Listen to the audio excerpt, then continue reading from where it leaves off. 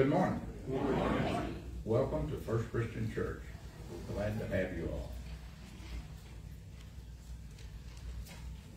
I'm going to read this morning from the first chapter of Luke. It's rather long. Be through verse 56. For as much as many have taken in hand to set forth in under a declaration of those things which are most surely believed among us, even as they delivered them unto us, which from the beginning were eyewitnesses and ministers of the word. It seems good to me also, having had perfect understanding of all things from the very first, to write unto thee in order, most excellent Theophilus, that thou mightest know the certainty of those things wherein thou hast been instructed. There was in the days of Herod the king of Judea a certain priest named Zachariah of the course of Abia, and his wife was of the daughters of Aaron, and her name was Elizabeth. And they were both righteous before God, walking in all the commandments and ordinances of the Lord blameless. And they had no child because that Elizabeth was barren. And they were both now well stricken in years. And it came to pass that while he executed the priest's office before God in the order of his course, according to the custom of the priest's office, his lot was to burn incense when he went into the temple of the Lord. And the whole multitude of the people were praying without at the time of innocence, incense. And there appeared unto him an angel of the Lord standing on the right side of the altar of incense. And when, when Zacharias saw him, he was troubled, and fear fell upon him. But the angel said unto him, Fear not, Zacharias, for thy prayer is heard, and thy wife Elizabeth shall bear thee a son, and thou shalt call his name John. And thou shalt have joy and gladness, and many shall rejoice at his birth. For he shall be great in the sight of the Lord, and shall drink neither wine nor strong drink. And he shall be filled with the Holy Ghost, even from his mother's womb. And many of the children of Israel shall turn, he turn to the Lord their God. And he shall go before him in the spirit of Elias to turn the hearts of the fathers to the children, and the disobedient to the wisdom of the just, to make ready a people prepared for the Lord. And Zacharias said unto the angel, Whereby shall I know this? For I am an old man, and my wife well stricken in years. And the angel answering said unto him, I am Gabriel, that stand in the presence of God, and am sent to speak unto thee, and to show thee these glad tidings. And behold, thou shalt be dumb, and not able to speak, until the day that these things shall be performed. Because thou believest not in my words, which shall be fulfilled in their season. And the people waited for Zacharias, and marveled that he tarried so long in the temple. And when he came out, he could not speak unto them. And they perceived that he had been a had seen a vision in the temple. For he beckoned unto them and remained speechless. And it came to pass that as soon as the days of his ministration were accomplished, he departed to his own house. And after those days his wife Elizabeth conceived, and hid herself five months, saying, Thus hath the Lord dealt with me in the days wherein he looked on me, to take away my reproach among men. And in the sixth month the angel Gabriel was sent from God unto the city of Galilee, named Nazareth, to a virgin espoused to a man whose name was Joseph, of the house of David, and the virgin's name was Mary. And the angel came in unto her and said, Hail, thou that art highly favored. The Lord is with thee. Blessed art thou among women. And when she saw him, she was troubled at his saying, and cast in her mind what manner of salutation this should be. And the angel said unto her, Fear not, Mary, for thou hast found favor with God. And behold, thou shalt conceive in thy womb, and bring forth a son, and shall call his name Jesus. He shall be great, and shall be called the Son of the Highest. And the Lord God shall give unto him the throne of his father David. And he shall reign over the house of Jacob forever, and of his kingdom there shall be no end. Then said Mary unto the angel, How shall this be, seeing I know not a man? And the angel answered and said unto her, The Holy Ghost shall come upon thee, and the power of the highest shall be overshadow thee. Therefore also that holy thing which shall be born of thee shall be called the Son of God. And behold thy cousin Elizabeth, she hath also conceived a son in her old age, and this is the sixth month with her, who was called barren. For with God nothing shall be impossible. And Mary said, Behold the handmaiden of the Lord, be it unto me according to thy word. And the angel departed from her.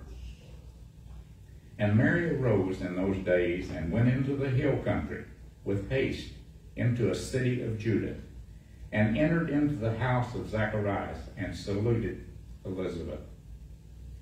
And it came to pass that when Elizabeth heard the salutation of Mary, the babe leaped in her womb, and Elizabeth was filled with the Holy Ghost. And she spake out with a loud voice, and said, Blessed art thou among women, blessed is the fruit of thy womb. And whence is this to me, that the mother of my Lord shall come to me? For lo, as soon as the voice of the salutation sounded in mine ears, the babe leaped in my womb for joy. And blessed is she that believed for there shall be a performance of those things which he told her from the Lord. And Mary said, My soul doth magnify the Lord, and my spirit hath rejoiced in God my Savior. For he has regarded the low estate of his handmaiden. For behold, from henceforth all generations shall call me blessed. And he that is mighty hath done to me great things, and holy is his name. And his mercy is on them that fear him from generation to generation. He has showed strength with his arm. He has scattered the proud in the imagination of their hearts. He has put down the mighty from their seats and exalted them of low degree. He has filled the hungry with good things, and the rich he has sent empty away. He has helped his servant Israel in remembrance of his mercy. And he spake to our fathers, to Abraham, and to his seed forever. And Mary abode with her about three months and returned to her own house. Let us pray. Heavenly Father, we ask that you bless this congregation. We ask that you bless those who are not able to be with us this morning. And be with the doctors that they are seeing and help them to see the problems. Be with us this morning as Brick brings the message and help those that it reaches into their heart, into their mind, that they believe. In Jesus' name I pray. Amen.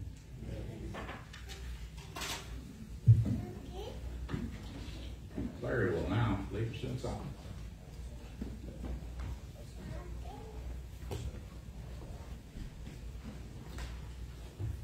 I invite you to stand with me and let's turn to hymn number 266.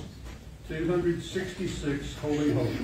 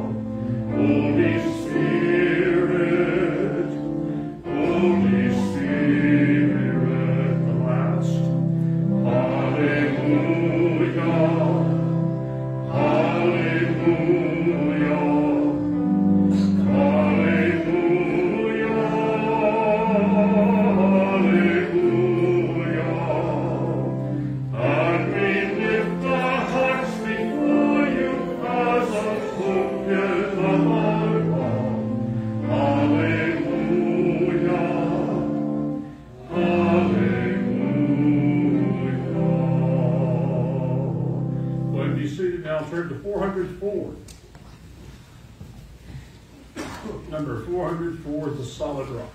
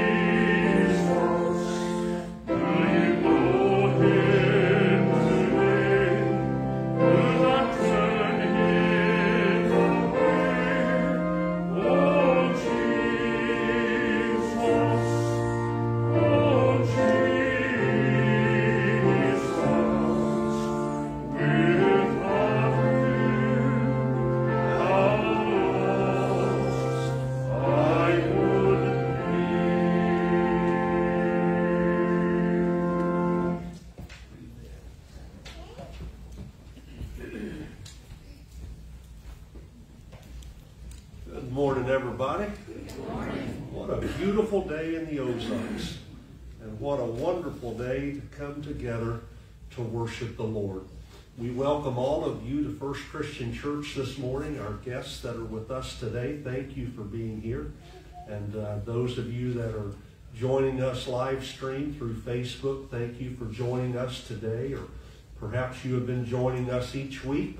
And we want you to know that uh, we are blessed by that. And we trust that we are a blessing in return.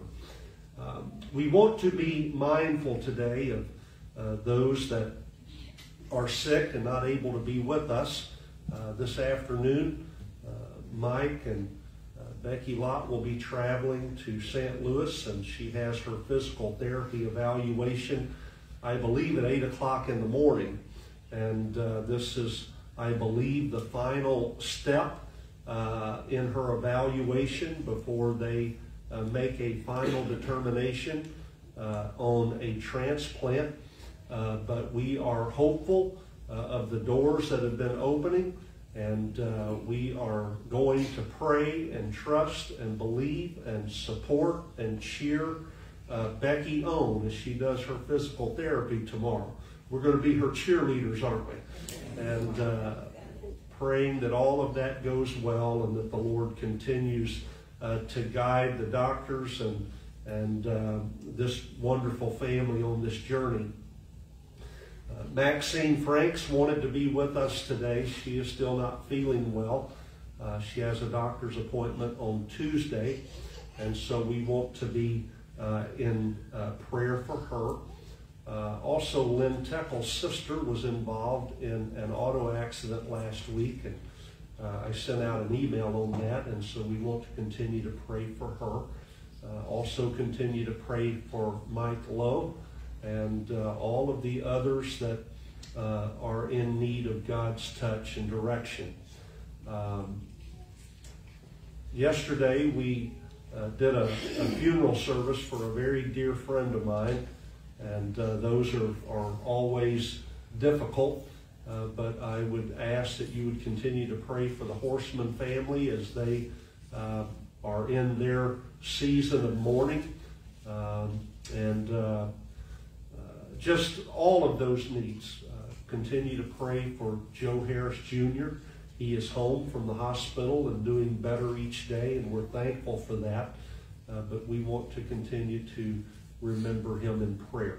If you have a need today, if you would acknowledge it by an uplifted hand, we'll take our cares to the Lord. Heavenly Father, we thank you for this wonderful day that you have given us. This is a day that you have made and we will rejoice and be glad in it.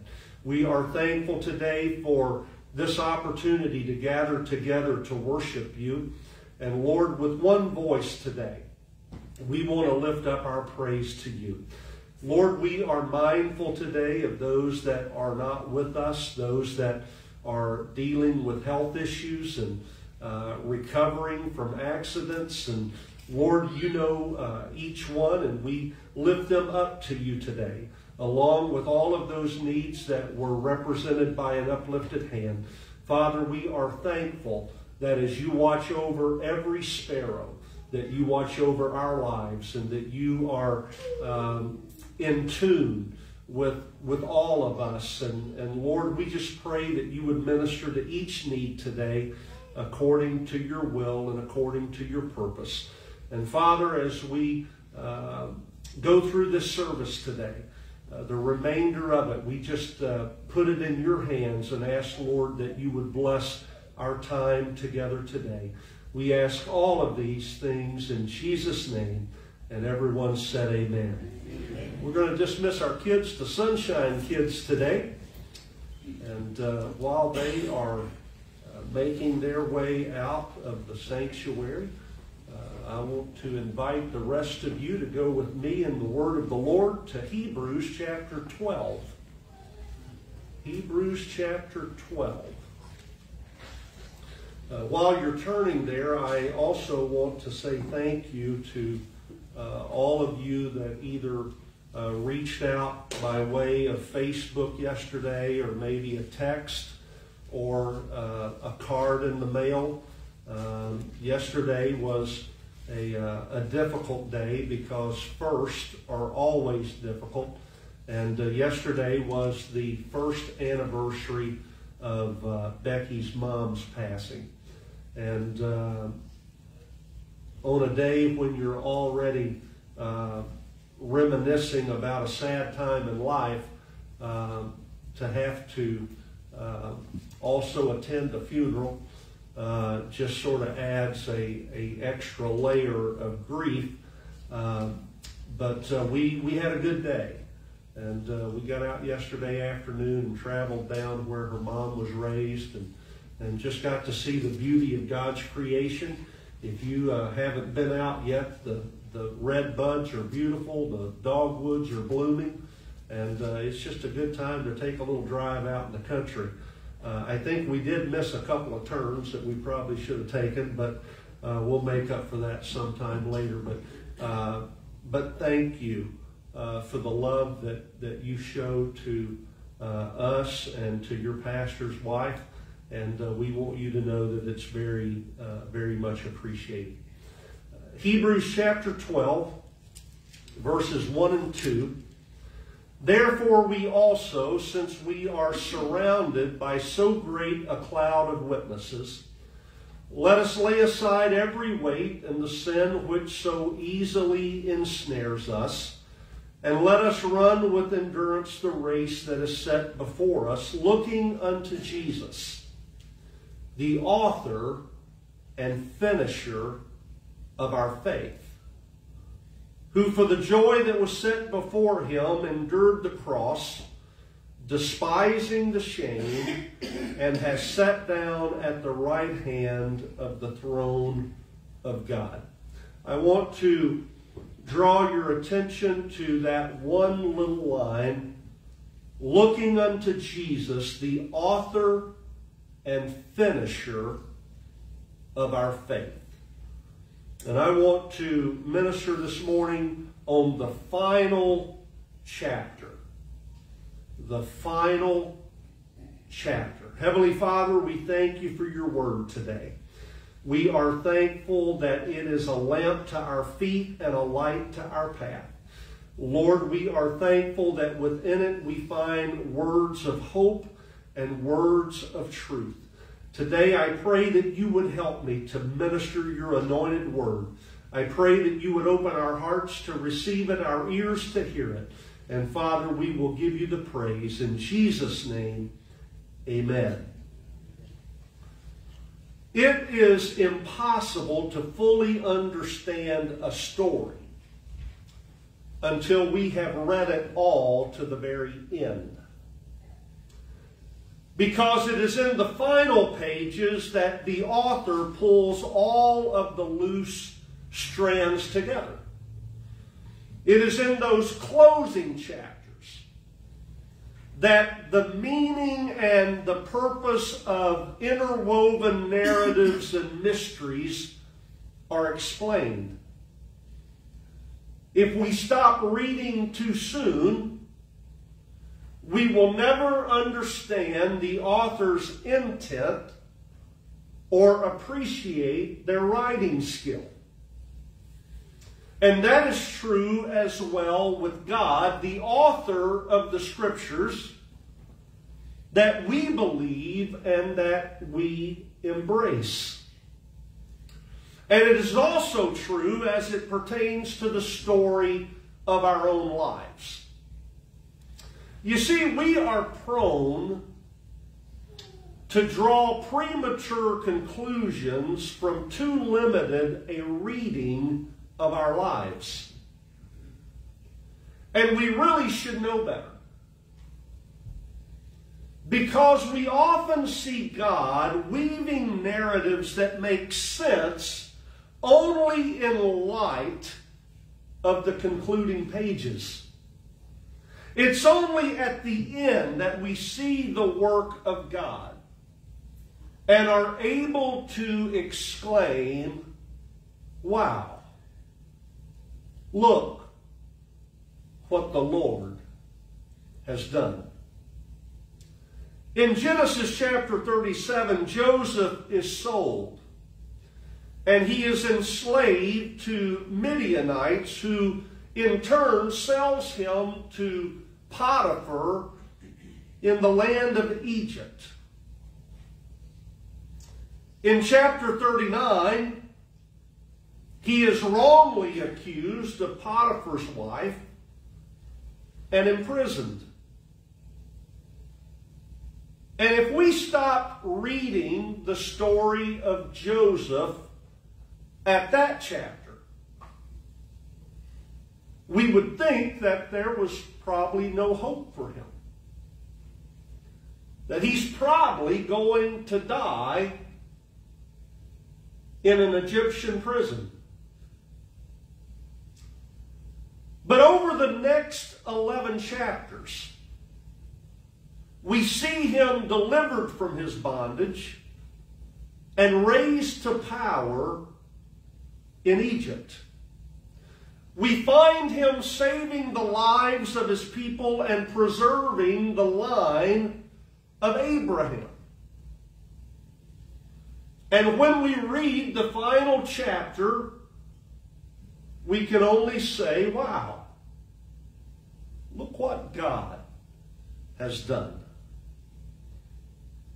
In the short book of Ruth,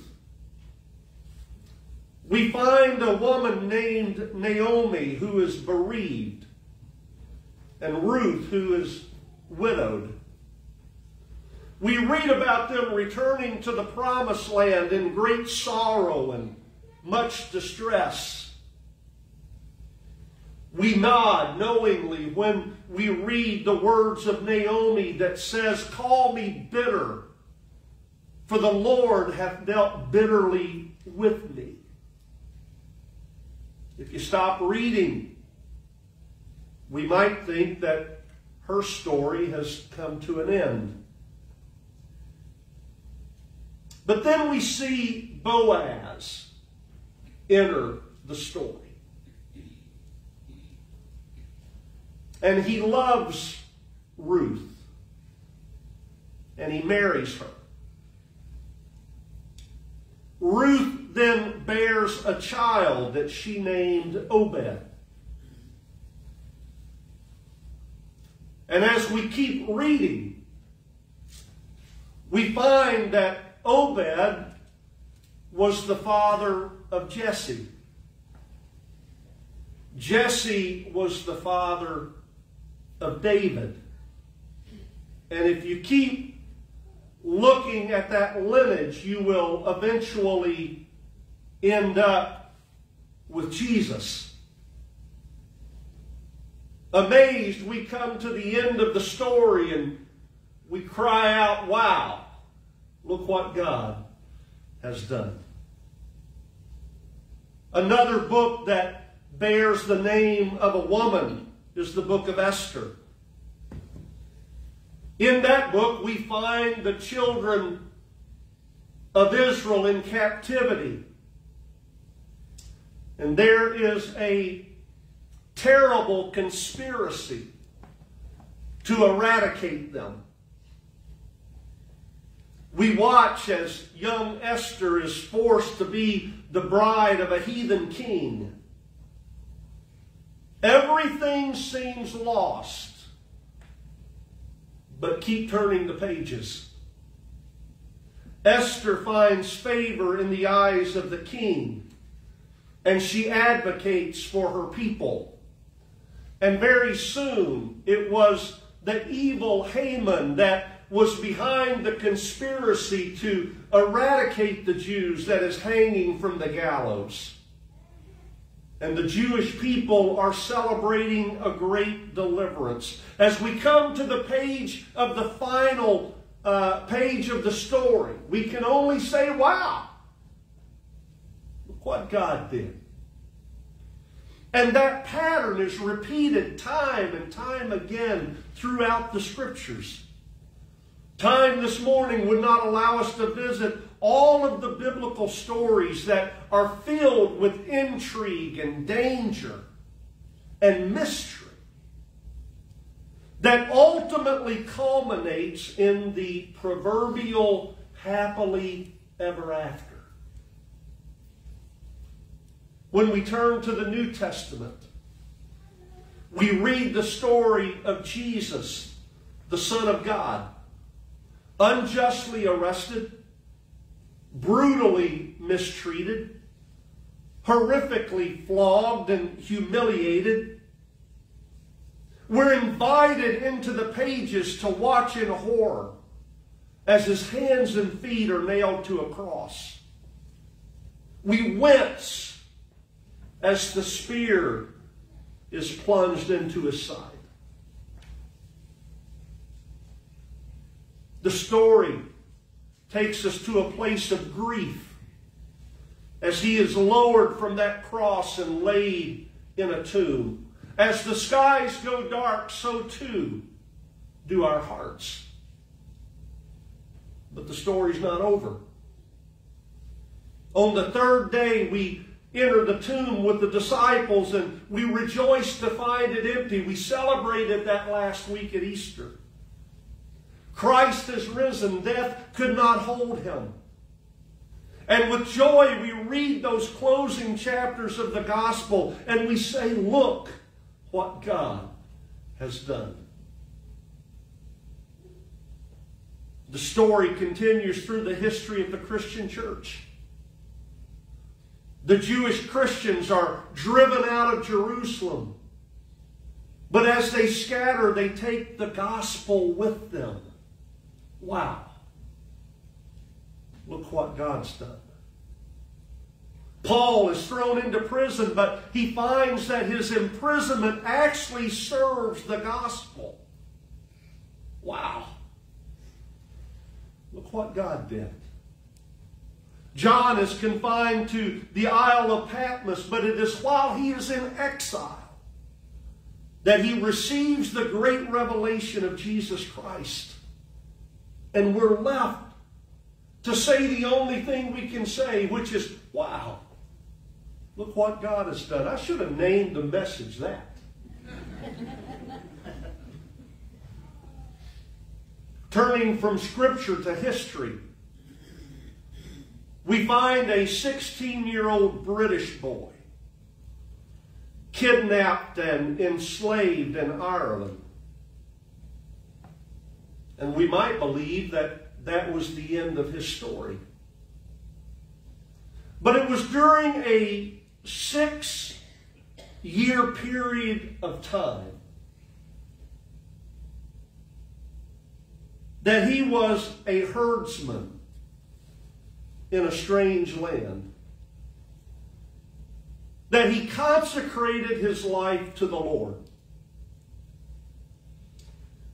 And then, after escaping his captivity, he later returned to Ireland as an evangelist, where he preached the gospel and saw many come to believe in Christ. We come to the final chapter of St. Patrick's life, and we say, wow, look what God has done.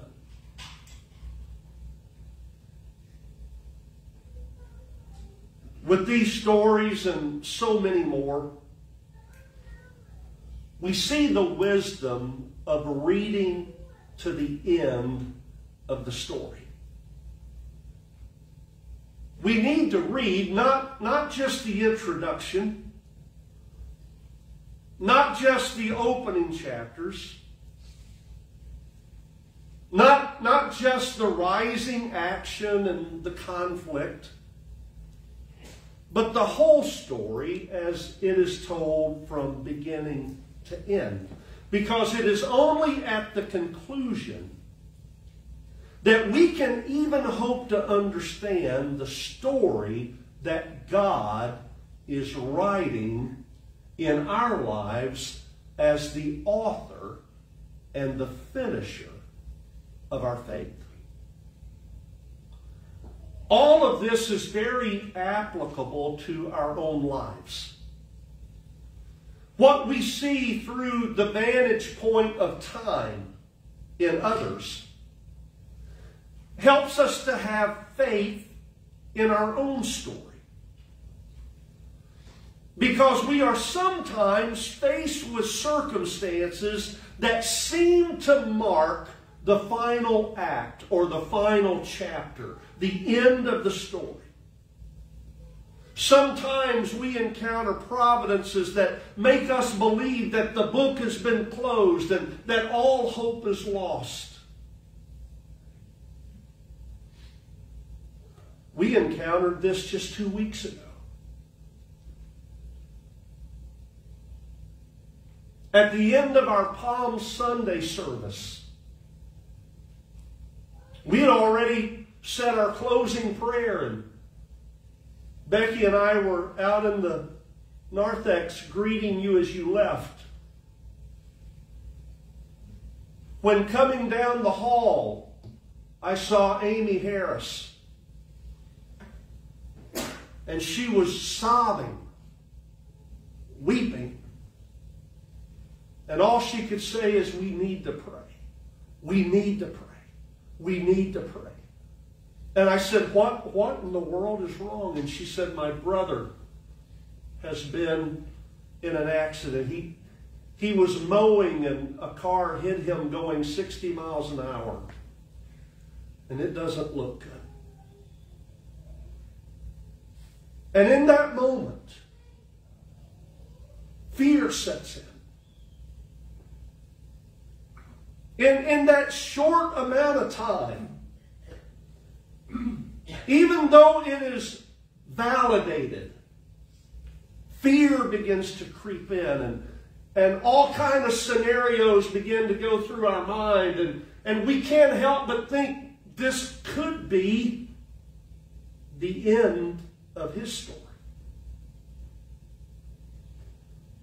I immediately came back to the pulpit and got everybody's attention, and we went to prayer. Found out later that he was en route to the trauma center in New Orleans, broken back, all kind of things going on, and still didn't look good. But I'm glad to tell you today that that wasn't the final chapter. You see, we weren't writing the story. We were just involved in that portion of the story. But God is the author. They say it's not over till the fat lady sings. I don't know why fat ladies got blamed with that. Far as I'm concerned, it could have been a fat guy. But I'm telling you today, it's not over till God says it's over. God gets to write the beginning, the middle, and the closing chapter. And there may be things within that narrative that causes us to pause, that causes us to think that this is the end. But God is still writing the story. And so when we are pressed, we must not think that we have been crushed. We have to believe that God can still bring about a great redemption. When we are struck down, we must not think that we have been destroyed, but rather have confidence that we are being prepared for a great blessing. when we're emotionally battered, when we're physically spent. That is not the time to determine that we have been abandoned. Rather, we must know that we are being made ready for some great usefulness to God's plans and God's purposes. We have to wait. We have to withhold judgment. We have to wait until the end of our story has been written. For no story, least of all our own, makes sense until we have read to the final page. it is then and only then, in light of the whole narrative, that we see the skill, the ability, and the genius of the author. And I know as I preach this today that everyone in this building and those of you listening to me today through live stream, I know that you identify with what I'm preaching today. Because even though the end of our story has not been written, the end of some of our chapters have been completed. And there have been times in our lives when we didn't know what we were going to do. We didn't know how we were going to make it. We didn't know how we were going to get through that time of challenge. Times when our hope was at the very lowest that it could be. Times when the outlook of our future was bleak and uncertain. And yet, because hindsight is always 2020, we stand today and we look back over those chapters in our lives and we can only say, wow, look what God has done. It's because we begin to understand that when we allow Him, He takes the pieces and the brokenness of our lives and he works them together for good. At the moment that they're broken, we cannot see the beauty in them. But when we place them into the hands of Jesus, he works them together for good. Jeremiah wrote that the Lord knows the plans that he has for you and me. And he tells us that those plans are not to harm us but to give us hope and a future. The psalmist declares that our steps are ordered of the Lord. That means that every detail of our life is thoughtfully fit together. Each piece complements the other. The bad, the ugly, the difficult are there. And they are there to shine light on the good and to help us appreciate the blessing. And what we do not want to do in our times of challenge is wrestle the pen out of the hand of the author.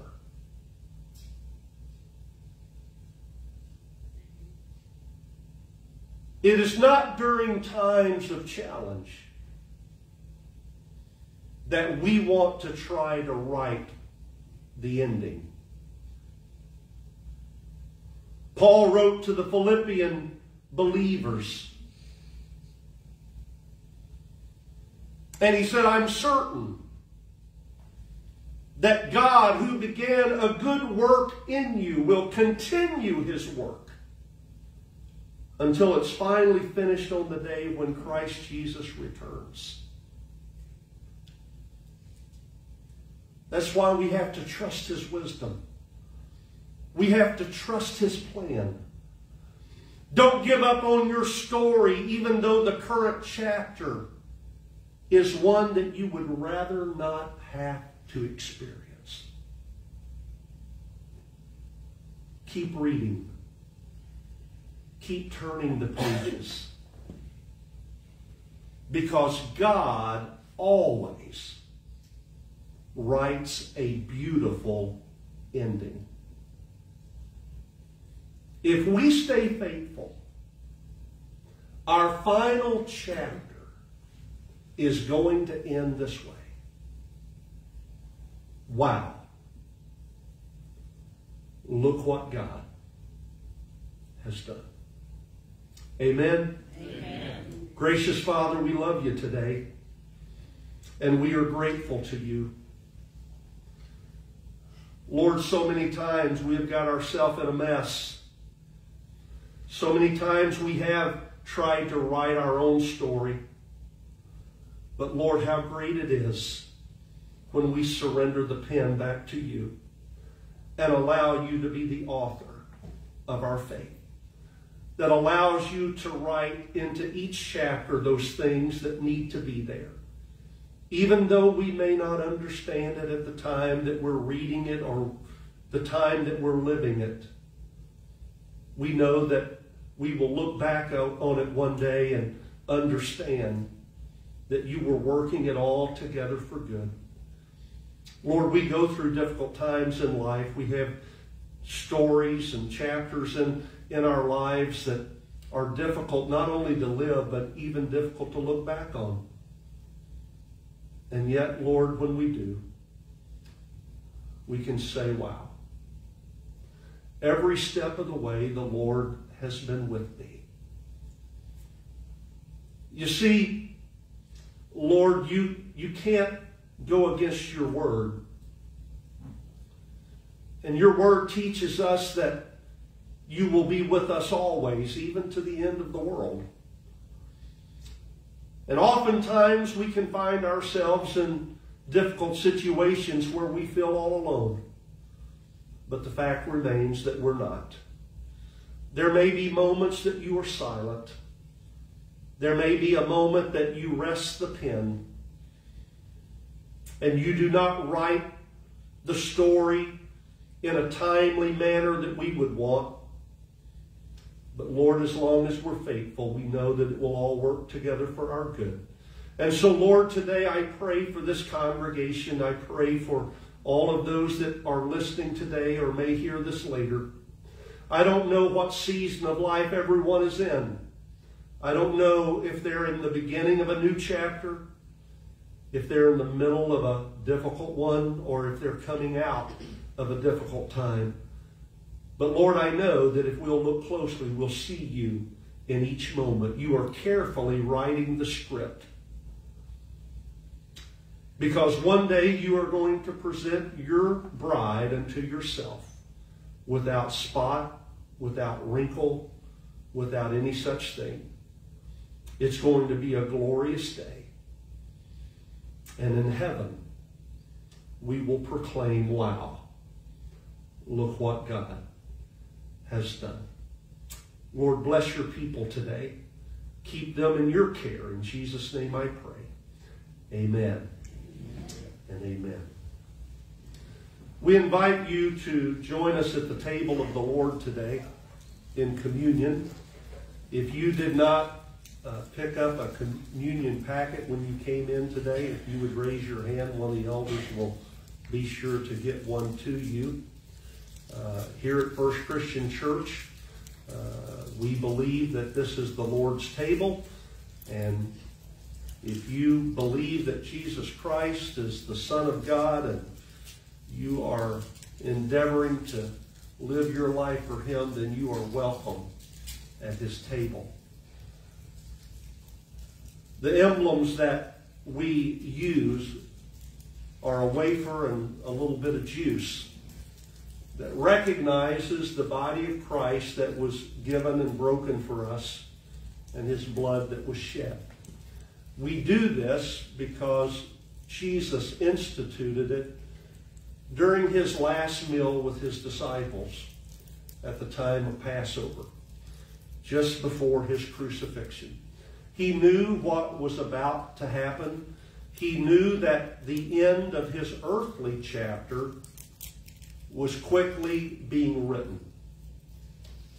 And so, for a memorial, Jesus said, I want you to do this in remembrance of me. And with supper being ended on the night he was betrayed, Jesus rose from the table and he took bread. He blessed it, he broke it and gave to his disciples and said, Take and eat. This is my body, which is broken for you. Do this in remembrance of me.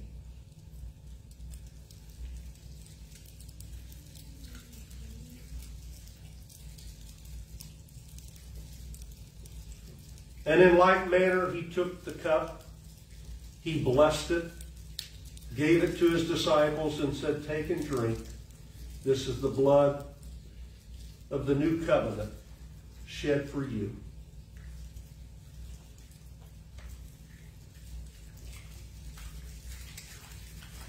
Let's bow our hearts in prayer.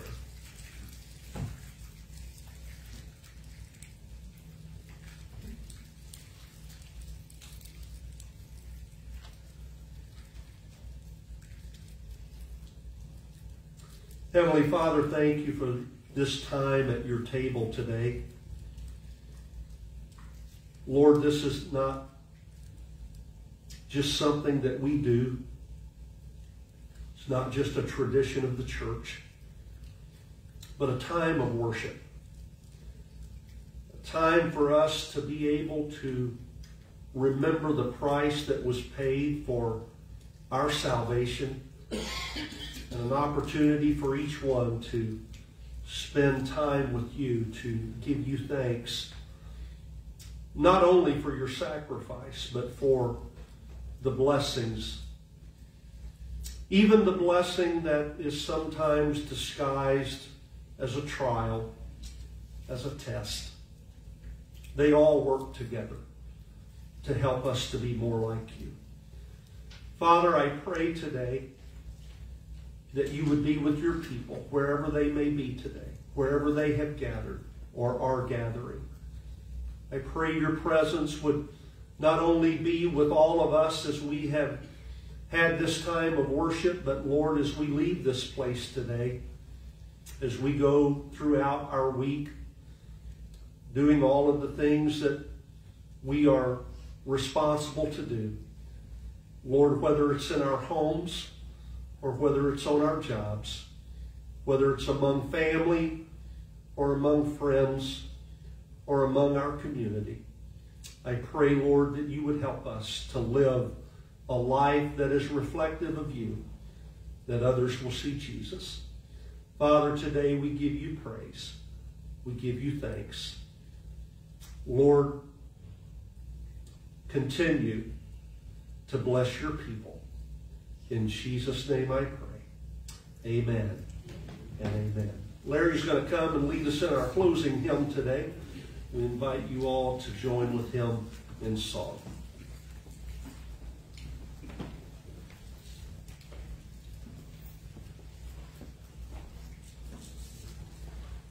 Stand with me. Let's turn to hymn number 271, Standing on the Promises. 271.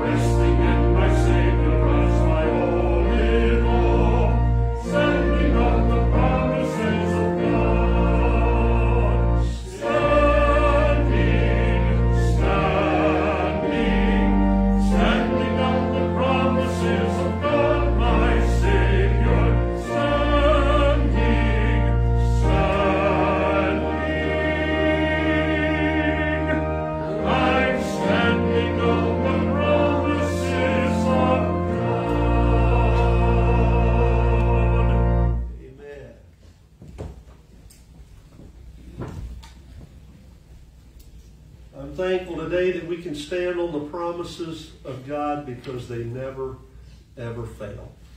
Amen. You can uh, trust that. Uh, well, I got through today before both candles went out. We're making progress. Thank you again for coming today. And uh, if you can this afternoon, get out and uh, enjoy this beautiful day. I think, uh, according to the weather uh, people, this is supposed to probably be the, the best day of the whole week as far as temperature goes. And uh, so get out this afternoon. Those of you that have boyfriend or girlfriend or uh, you're married to a boyfriend or girlfriend, uh, get out and take a drive and uh, just enjoy the day and enjoy one another and uh, just take in all of the blessings of the Lord. Um, as we're dismissed today, may God uh, go and be with each and every one of you. And let's pray as Jesus taught us to pray. Our Father, hallowed be thy name. Thy kingdom come, thy will be done, on earth as it is in heaven. Give us this day our daily bread, and forgive us our debts as we forgive our debtors. And lead us not into temptation, but deliver us from evil. For thine is the kingdom, the power, and the glory forever. Amen. God bless you.